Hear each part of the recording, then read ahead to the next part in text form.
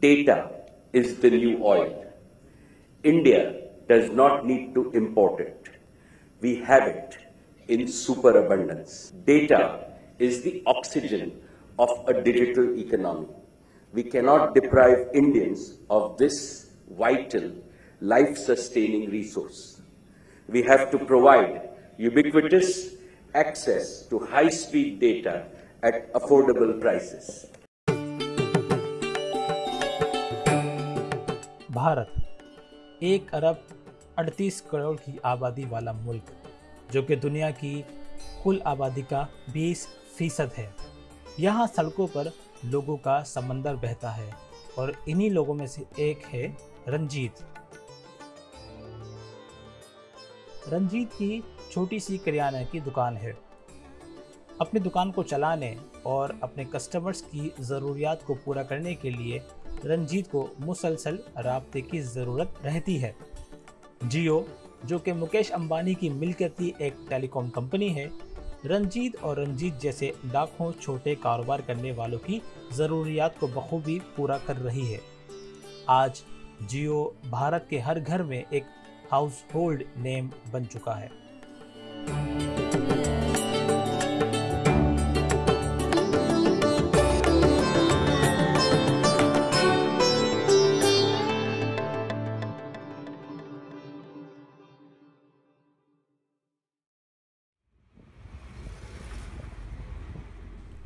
2000 की दिहाई में Indian telecom companies के दरमियान एक प्राइस वॉर जारी थी और पैसे की ये जंग वॉइस कॉल रेवेन्यू के ऊपर थी।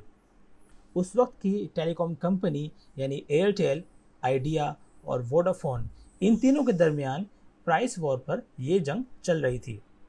उस वक्त टेलीकॉम कंपनीज़ तकरीबन 60 से 70 परसेंट रेवेन्यू वॉइस कॉल से बना रहे थे।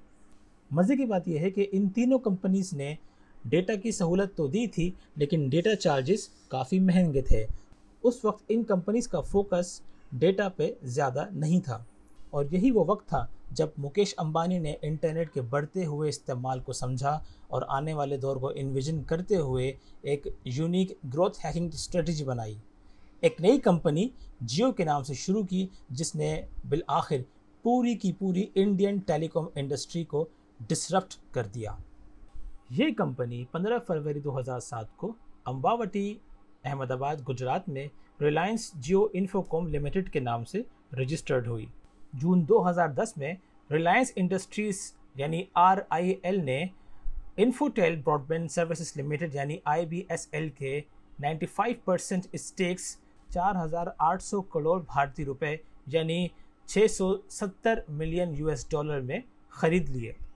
उस वक्त IBSL भारत की वो वाहिद कंपनी थी, जिसने उसी साल 4G ऑक्शन में भारत के 22 सर्किल्स के ब्रॉडबैंड स्पेक्ट्रम हासिल किए थे।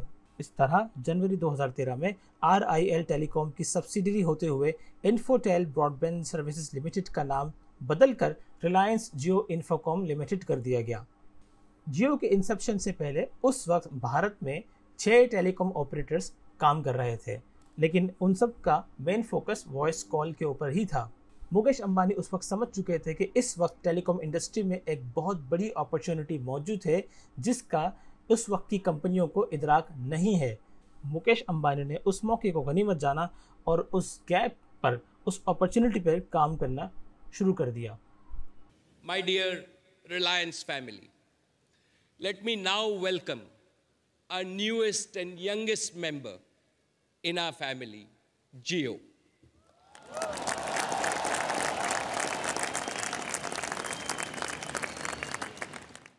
Why did Reliance think of Geo? The world is at the beginning of a digital revolution. Anything and everything that can go digital is going digital at an exponential rate, faster than what you and I can imagine. Whether it is entertainment, commerce, healthcare, education, governance, life is going digital. Ambani इस बात को भी समझते थे कि भारत की सिर्फ़ 10 फ़ीसद आबादी 4G या मोबाइल डेटा को इस्तेमाल करती है वो जान चुके थे कि सेचूरेटेड मार्केट में अगर कोई बिग रूम बन सकता है तो वो डेटा की सूरत बन सकता है वॉइस कॉल्स की सूरत में नहीं बन सकता।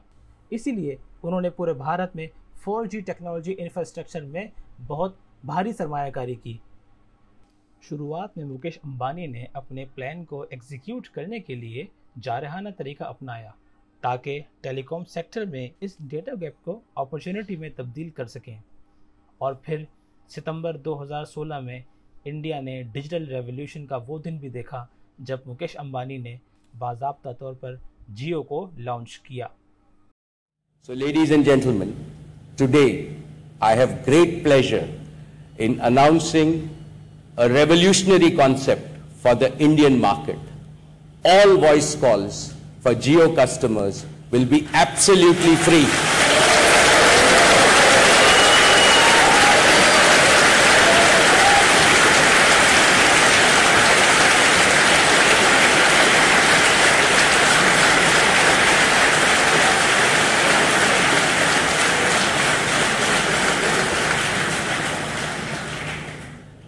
era of paying for voice calls is ending. Geo will usher India into this new era. No Geo customer will ever pay for voice calls again across India to any network. The current market practice is to charge for data a base rate of between 4,000 and 10,000 rupees a gigabit. Geo will have a base rate which is one tenth of this. And the more data you use, lower the rate. Our data plans go even further with an effective rate of data of only 5 paise per MB of 50 rupees a GB. Jio operations को general public के लिए खोल दिया गया जियो ने पूरे India में ultra cheap data plan बिल्कुल मुफ्त वॉइस कॉल फ्री रोमिंग के साथ मुतारफ़ कराए। जियो के इस इंट्रोडक्टरी प्लान को आवाम में भरपूर पजीराई हासिल हुई। जियो लॉन्च के साथ ही रिलायंस के स्टोर्स पर लंबी कतारें देखी गईं, जहाँ लोग अपना सिम कार्ड लेने के मुंतजर थे। फ्री डेटा है और फ्री कॉल है थ्री मंथ्स के लिए इसलिए व्हाई फोर की कनेक्टिविटी है और फोर का चूँकि और सारे ऑपरेटर्स जो हैं उन लोगों का कॉस्ट बहुत ज़्यादा है और रिलायंस ने काफ़ी चीप रेट्स में जो है फोर की कनेक्टिविटी दे रहे हैं तो इसीलिए बहुत ज़्यादा भीड़ लगी हुई है They are providing 4G internet for free till 31st December, and after that, it is it costs only 50 rupees per GB. And uh, I'm looking only for 4G internet. That's why I'm here.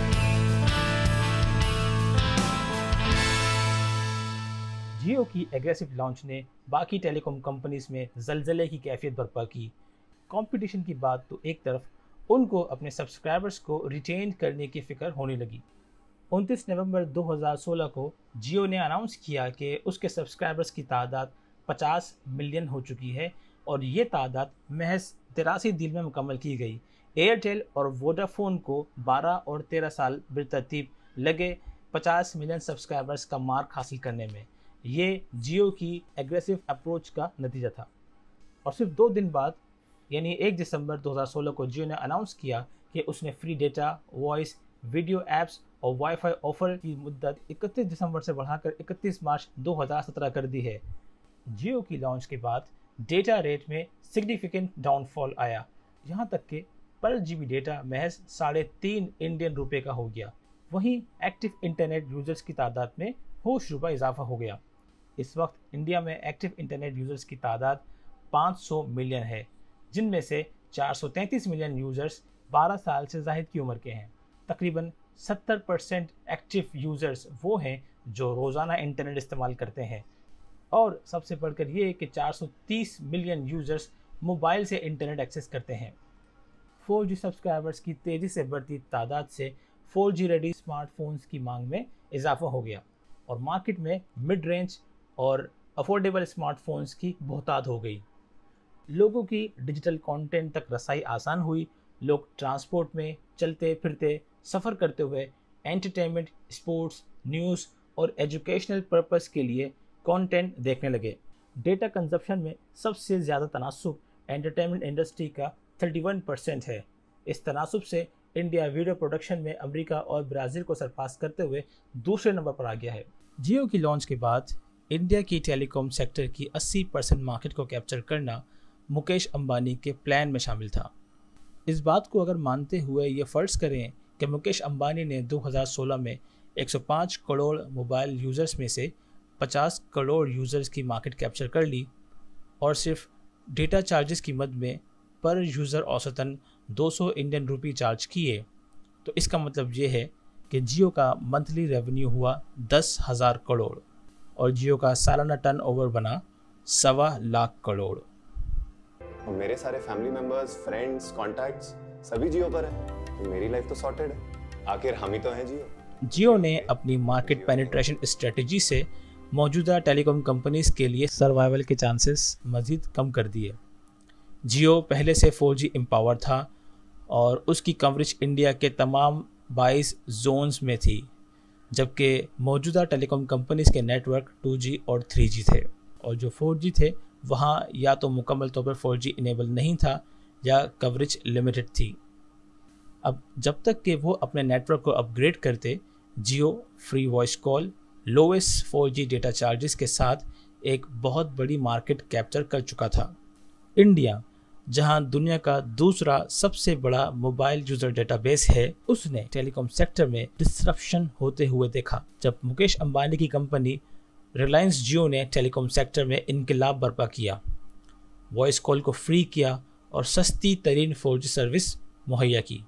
आज चार साल बाद, यानी 2020 में Reliance Jio subscription और revenue generation के हिसाब से इंडिया की सबसे बड़ी टेलीकॉम ऑपरेटर बन चुकी है।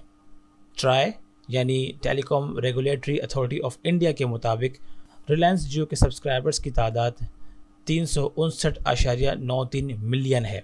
Social media joint company Facebook ने हाल ही में जियो प्लेटफॉर्म्स में पाँच आशार्य सात बिलियन यूएस डॉलर की इन्वेस्टमेंट का ऐलान किया है। इस इन्वेस्टमेंट से फेसबुक, जियो और व्हाट्सएप कमर्शियल पार्टनरशिप के लिए राहें हमवार होंगी। I wanted to share an important update. uh, that Facebook is joining forces with a new partner in India. We're making a major financial investment and we're going to become the largest minority shareholder in Geo platforms. Uh, but more than that, we're also committing to work together on some critical projects that we think are going to open up a lot of opportunities uh, for commerce in India.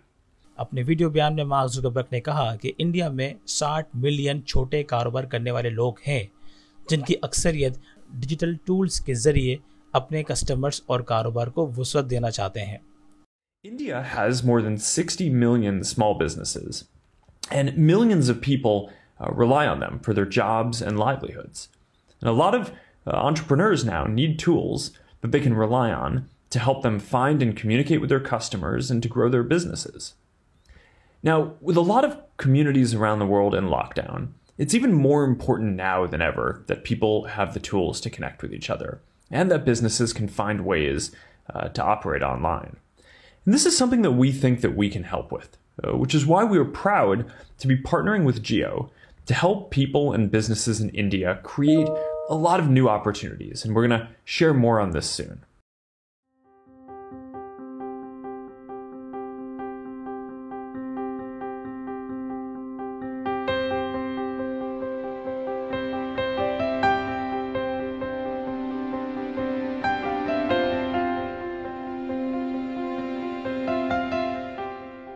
जियो, जिसके माने हैं to live और मुकेश अंबानी ने करोड़ों हिंदुस्तानियों को push किया, उनको मजबूर किया कि वो एक डिजिटल ज़िंदगी जी सकें।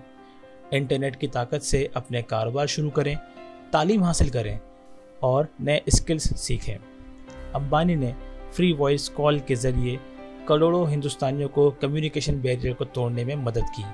उन्हें एम्पावर किया कि वो ना सिर्फ़ अपना, बल्कि उनसे जुड़े हर फर्द का मुस्तकबिल ताबनाक बनाएँ।